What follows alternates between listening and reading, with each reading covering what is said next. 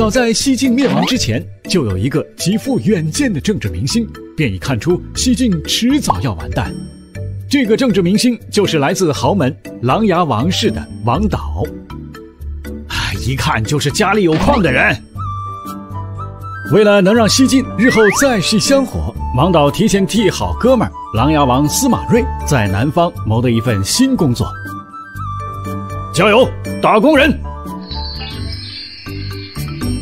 当大佬们在北方争夺西晋的地盘时，王导与司马睿却猫在南方坐山观虎斗。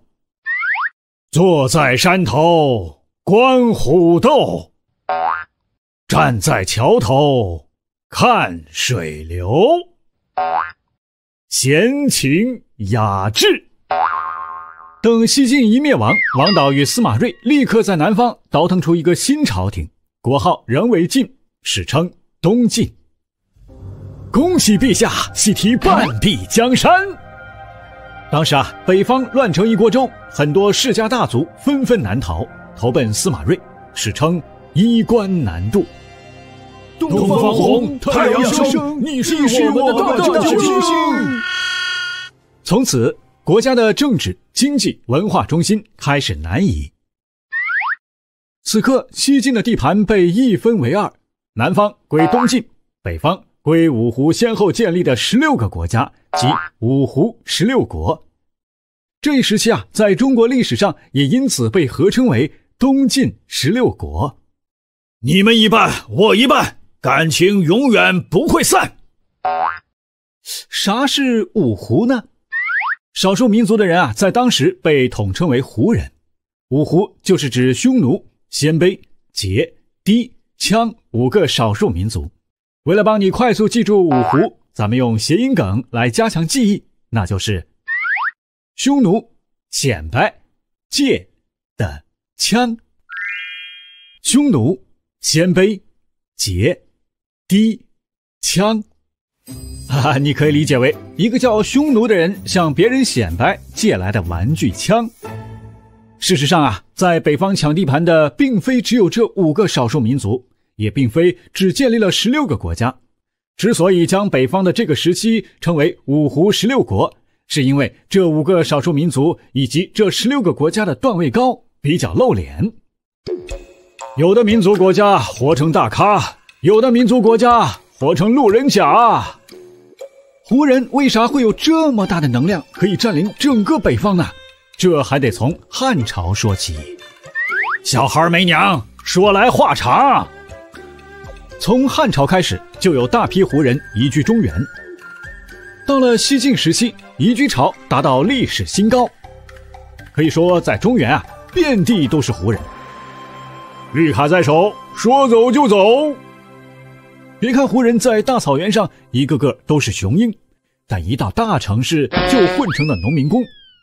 在当时，包工头都很横，不但经常拖欠民工工资，还经常不把他们当人看，所以胡人一直过得很悲惨。你以为你会得到同情？我差点笑出声。你伤害了我，还一笑而过。等司马家的人在八王之乱中把自家人打残后，不愿再做打工仔的胡人纷纷跳出来造反，史称五胡乱华。造反一时爽，一直造反一直爽。在五胡乱华期间，五胡曾在不同时间段建立了十六个国家，他们分别是：成汉、胡夏、前赵、后赵、前秦、后秦、西秦、前燕。后燕、南燕、北燕、前凉、后凉、西凉、南凉、北凉。成汉、胡夏、前赵、后赵、前秦、后秦、西秦、前燕、后燕、南燕、北燕、前凉、后凉、西凉、南凉、北凉。你这是来了顿贯口吗？哎，是不是有点乱？记不住？没关系，你只需要记住成汉、胡夏、二赵、三秦、四燕、五凉，就记得差不多了。北方虽然乱如麻，但也曾被统一过两次。第一次呢是被后起之秀前秦统一的。悲催的是啊，前秦的大当家本来想灭掉东晋，一统天下，没想到却玩砸了，并且导致北方再次分裂成很多国家。一顿操作猛如虎，定睛一看，原地杵。